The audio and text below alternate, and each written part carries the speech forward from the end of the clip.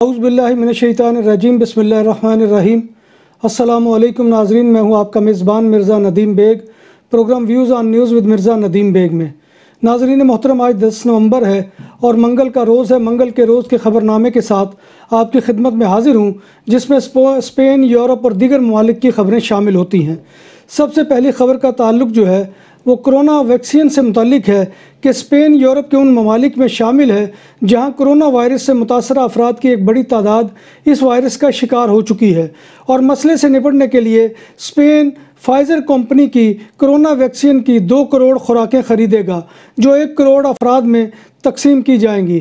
حکومت اسپین کا کہنا ہے کہ ویکسین عوام کو مفت فراہم کی جائے گی اور اس کا کوئی معاوضہ وصول نہیں کیا جائے گا۔ یورپی یونین دوا ساز کمپنی فائزر کے ساتھ جلد تین سو ملین ویکسین خریدنے کا معاہدہ کرے گی۔ یورپی کمیشن کے صدر یورپی کمیشن کی صدر ارسولا وان ڈیرلوین نے کہا ہے کہ انہیں امید ہے کہ جلد ہی فائزر کے ساتھ معاہدہ ہو جائے گا تاکہ دوا ساز کمپنی کی تیار شدہ ویکسین کی تین سو ملین خوراکیں خرید سکے۔ فائزر کے مطابق اسے توقع ہے کہ دو ہزار اکیس میں وہ ویکسین کے ایک ارب تیس کروڑ خوراکیں تیار کرنے کی توقع رکھتی ہے۔ نو منتخب امریکی صدر جو بائیڈن نے امریکہ اور جرمنی کی دوا ساز کمپنیوں کی جانب سے مشترکہ تجرباتی کرونا وائرس کی ویکسین کے نوے فیصد سے زیادہ مؤثر ہونے کی خبر پر تمام سائنسدانوں کو مبارکباد دی ہے۔ روس نے بھی اپنی تیار کردہ ویکسین کے حوالے سے بڑا دعویٰ کر دیا ہے۔ روس نے بھی اپنی بنائی گئی کرونا ویکسین کے نوے فیصد سے زیادہ مؤثر ہونے کا دعویٰ کرتے ہوئے کہا ہے کہ کرونا ویکسین اسپیدونک فائیو نوے فیصد سے زیادہ مؤثر ہے۔ کرونا ویکسین کے نوے فیصد درست نتائج آنے کی رپورٹ نے عالمی منڈی میں زبردست تیزی پیدا کر دی ہے۔ ویکسین آنے کی بڑھتی امید پر آئل مارکیٹس میں بھی بڑی ہلچل پیدا ہوئی ہے۔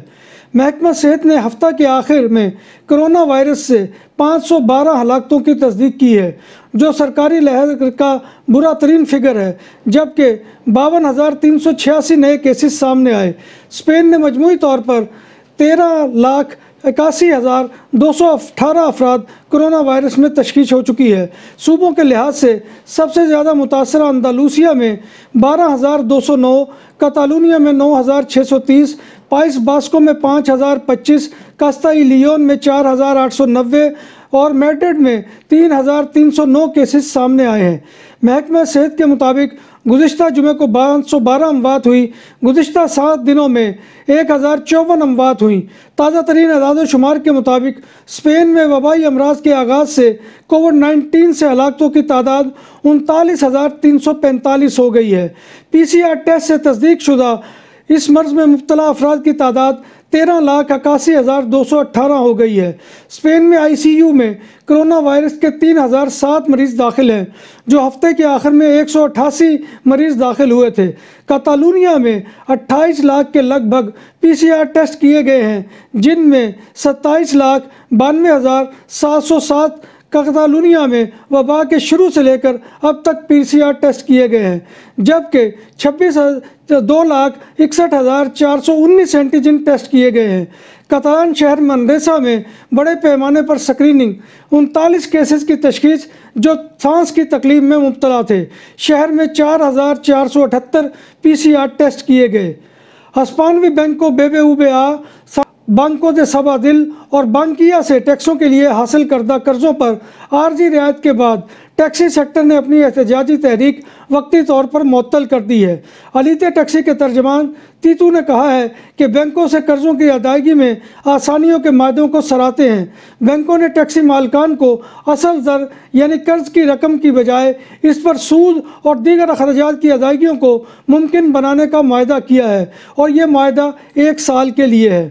جلدی تعداد قطانویہ کی جانب سے آتونومو یعنی سیلف امپلائمنٹ کے شعبے کی مالی مدد دو ہزار یورو کا اعلان کر رکھا ہے اور گزشتہ روز قطالونیہ کی جنرلی تعداد کی ویب سائٹ پر آن لائن اپلائی کرنے کا پہلا دن تھا۔ مگر اتنی بڑی تعداد میں درخواست گزار ویب سائٹ پر آ گئے کہ ویب سائٹ کا سرور ہی بیٹھ گیا۔ صبح نو بجے سے رات دس بجے تک چار لاکھ چھ ہزار درخواستیں موصول ہوئی۔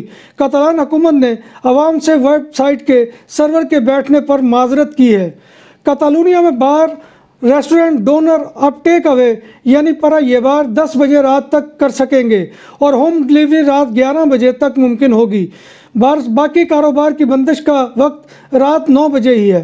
قطران حکومت جمعے سے پہلے فیصلہ کرے گی کہ آیا پابندیوں میں نرمی کی جائے گی یا نہیں۔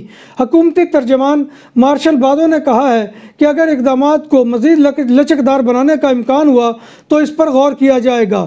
کتالونیا میں چودہ نومبر سے بارز اور ریسٹورنٹ کو پچاس فیصد کھولنے کی تجویز۔ یہ تجویز جنرل اطاعت کی شعبہ بحالی کے اجلاس میں سامنے آئی۔ جنرل اطاعت حکام سے اجلاس میں کہا گیا کہ ریسٹورنٹ بار کے اندر اور ٹیرس پر بیٹھنے کی اجازت ہونی چاہیے اور ایک ٹیبل پر چار افراد کو بٹھانے کی اجازت دی جائے اور یہ بھی یقینی بنایا جائے کہ جب گاہک ریسٹورنٹ میں کھانے کے انتظار میں بیٹھا ہو تو لازمی ماسک پہنے اور بیٹھنے کی مدت ایک گھنٹے سے زیادہ نہیں ہونی چاہیے۔ کتالونیا کے دفتر پلاؤ دے اطاعت کی سکوٹی بڑھانے کا فیصلہ۔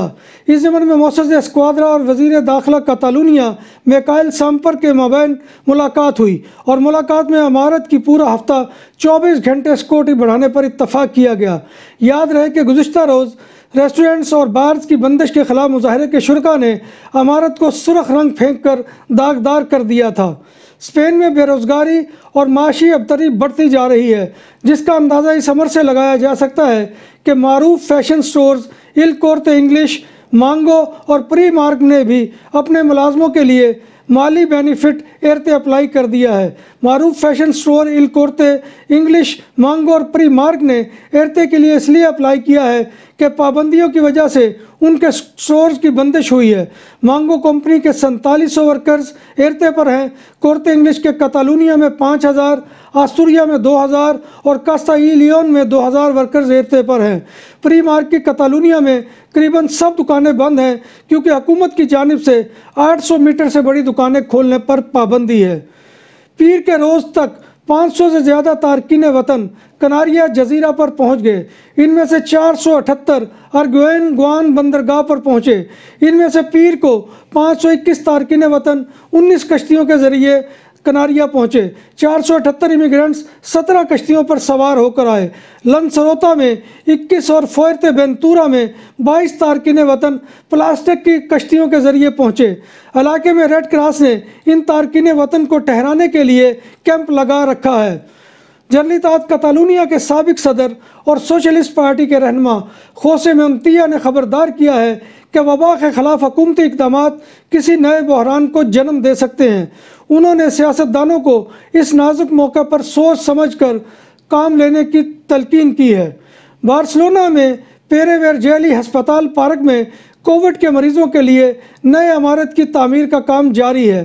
چار منزلہ عمارت کا انتظام والد ہیبرون ہسپتال کے زیر انتظام ہوگا۔